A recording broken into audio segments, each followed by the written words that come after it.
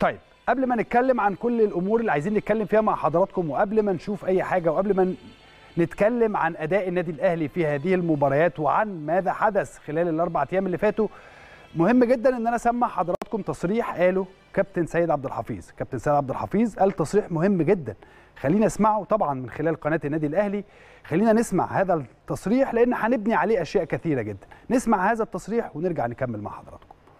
الفترة اللي جاية الحقيقة مهمة جدا لجمهور النادي الأهلي، لابد يكون في دعم كبير جدا للمرحلة لأن في أمل كبير، حتى آخر دقيقة في بطولة الدوري العام في أمل لفريق النادي. أنت لسه بقول لك فاضل أربع أربع مباريات. أربع مباريات فيها كتير, جدا جدا من المفاجآت. يمكن يعني لو في حد آه، آه، ممكن تتكلم معاه هو نفسك يعني أنت في في فترات كتيرة جدا فقدنا فيها نقاط ما كانش ينفع إن إحنا نفقدها خالص السنة دي يعني. لكن هي دي كوره يعني زي ما بتغيب آه، ممكن ترجع لك يعني. ده طبيعي جدا إن أنت تتعامل. المهم أنت يعني تمشي في الطريق بتاعك يعني. هنمشي في الطريق ده. هن هنكمله بإذن الله تعالى وإن شاء الله الرحمن ممكن آه، المباريات المتلاحقة وال- والقريبة من بعض دي تبقى فيها آه، حاجات كتيرة يعني. المهم إن أنت يعني تكمل في طريقك أنت يعني.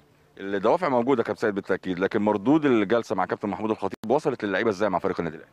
يعني زي ما أنا قلت يعني في الأول والآخر مباريات متلاحقة جدا جدا ويعني ورا بعض بشكل كبير قوي إحنا خدنا الكثافة الأعلى في كل حاجة في وأنا يمكن قلنا ونبهنا في شهر رمضان إحنا فقدنا 10 نقاط في شهر 10 كاملة من سموحة وال والزمالك وال- والمحلة وال- والجونة لو تفتكر. لعبنا في عدد مباراه في عدد أيام ما فيش فرقة في العالم لعبتها خالص يعني. وب- وبنكمل برضه لحد دلوقتي في بنفس ال- النهج يعني. مش وقته الكلام ده خالص يعني. لكن في النهاية يعني بقوا مع مع ذلك ما بديش مبرر. لو في أي حاجة في الأول في الأول والآخر يبقى آه، بتلوم نفسك يعني. لكن أنا مصمم إن ممكن كرة القدم فيها 360 دقيقة زي ما قلت فيها أربع مباريات بتحمل كتير جدا من المفاجآت وال وال آه، والأفعال يعني. خلينا بس نمشي في طريقنا عندنا مشوار يوم الثلاث مع مع طلائع الجيش ثم المصري ثم آه، الجونة وبعد كده هنختم بأسوان.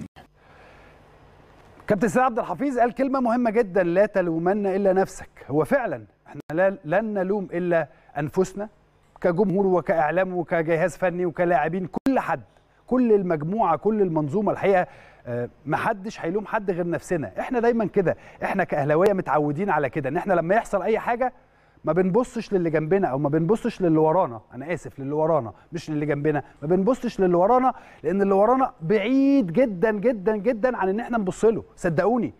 يا جماعة مش عايزين حد ياخدنا لسكة إن إحنا آه، بنتنافس مع حد خالص. إحنا بنت- بنتنافس مع أنفسنا ومع ريال مدريد. مع أنفسنا ومع ريال مدريد. ما بنتنافس مع حد تاني. صدقوني يا جماعة الكلام اللي أنا بقوله لكم ده لأنه حضراتكم عارفين قبل مني وأنا اتعلمت الكلام ده من جمهور النادي الأهلي. جمهور النادي الأهلي دايما بيخلينا نبص لقدام. عمرنا ما بنبص لورا. عمرنا ما بنبص لورا لأن ورا ده بعيد بعيد خالص مش قريب. يعني ما مش قريب منك حتى ضعفين أو ثلاث أضعاف. فأنت لما تيجي تبص لازم تبص للي قدامك عشان طموحك يوصل للي أنت عايزه.